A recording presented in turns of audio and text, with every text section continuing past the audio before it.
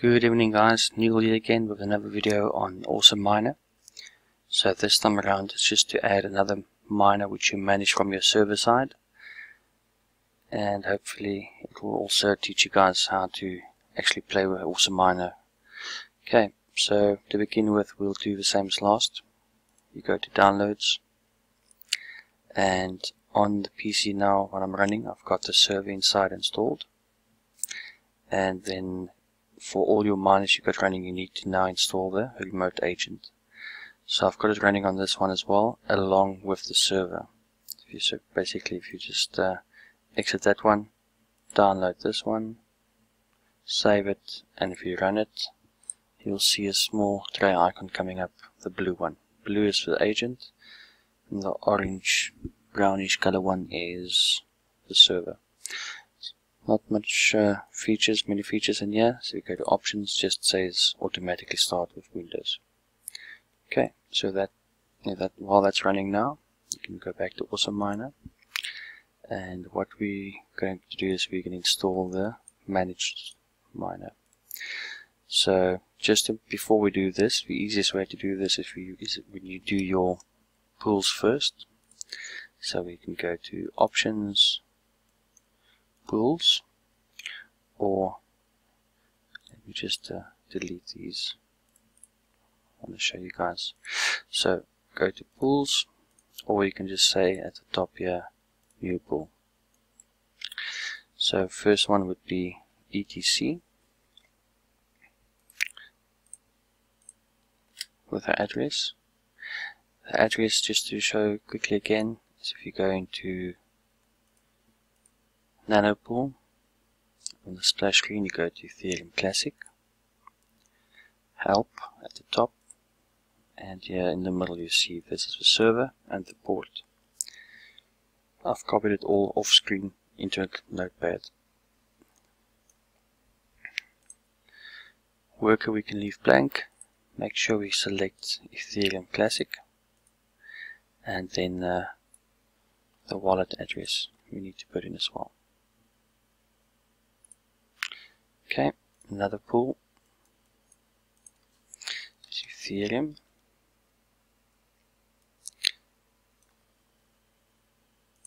Make sure we select Ethereum and the server address as well. And we click OK. We're going to do one for SIA coin as well, just to show how this works with dual mining. So we can call this one SIA. Copy the address.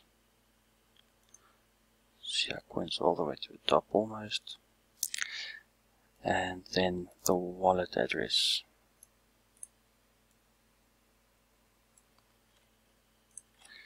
Okay so that's your three pools now on the system. So if you click new miner next we're going to do manage miner again my home PC I call 0 so normally we'd go new and do the same. Miner 0 192.168.74.250 you can actually test the connection. Or because it's my home PC and I'm on this PC you go 192.0.0.1 test the connection and you'll get the same. Click OK now we go next. We know we're going to do Ethereum. And we select the dual miner. Just want to point out here, you can see it's 9.4. So if you leave it, then Awesome Miner will go and download 9.4. I normally just force it uh, to the latest version, which is 9.7. I'll show you guys how to do that. If you click on that, for now let's do single mining. We're going to select the dual mining, go next and finish. So right click on this one, we're going to say properties and here we can say specify installation path, we can go browse and then on this PC under C drive, mining, that one and that's easy exe. Okay, so if we click OK. And that should be us good to go. So if we right click and say, oh, and this is to show the one which is selected for moment is ETC. If you say right click and say start,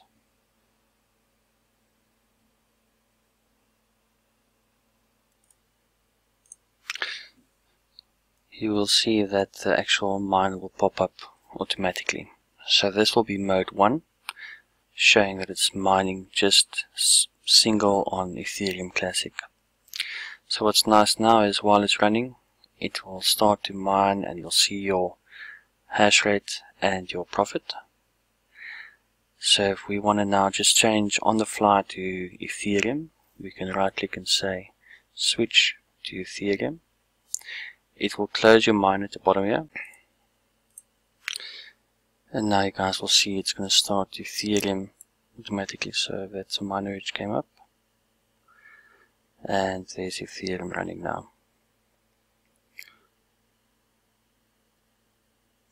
okay so if you leave it you'll see your profit coming up and also your hash rate for this card okay so next one is to do dual mining. So we'll right click that one and say stop. Then we'll go right click on the mine itself and say properties. This time around we're going to say Ethereum and SIA. And now when we select the pool, the difference now is that we will select new pool group and we can call that ETC and SIA and just make sure you select the two. You click OK and that'll be your new selection as well. So now if you click OK, right click and say start, the miner pops up. Oh, let me just see there quickly, I think uh, I missed the port for SIA, so it's right click, stop. Okay, we go to options, pools, SIA coin. Yeah, so there, there's no port number here. So just to get it quickly,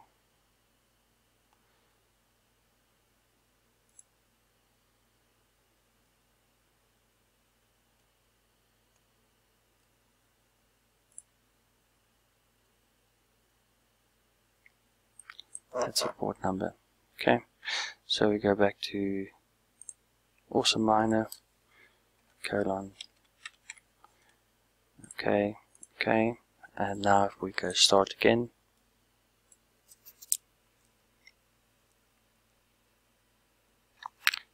you'll see it's going to pick up both. So there's the SIA coin and also Ethereum. Now normally the hash rate of a power distribution between the two coins is a setting which you can uh, put in and at the moment normally it's 30 and it's called DCRI it's just basically telling how much hash rate you're going to give to your altcoin you're mining. So if we press S you'll see that we're getting 257 if we press plus and minus that's uh, the difference. You can change it say to 15 or 20 but now, if you want to do it by default, we can right click and say stop. Right click properties again. And then in the miner under command line, what we'll do is we'll just add in, say 15 or 20. In this case we'll put 15. Click OK. We're going to start the miner again and this time around if we do plus and minus on the uh, command prompt you'll see it's going to start off from 15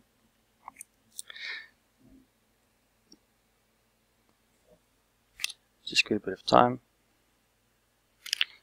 Before it was 257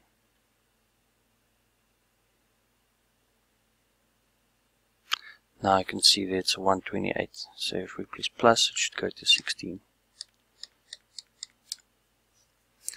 and that's it. So right click again we can on the fly. Now we don't need to change this to single mining what we can do is on the fly while it's mining, the miner still open the bottom here. We can say right click and we just want to mine Ethereum on its own. It's going to close the miner here at the bottom and the next one will come up by itself. And we'll see mode 1 and it's for Ethereum.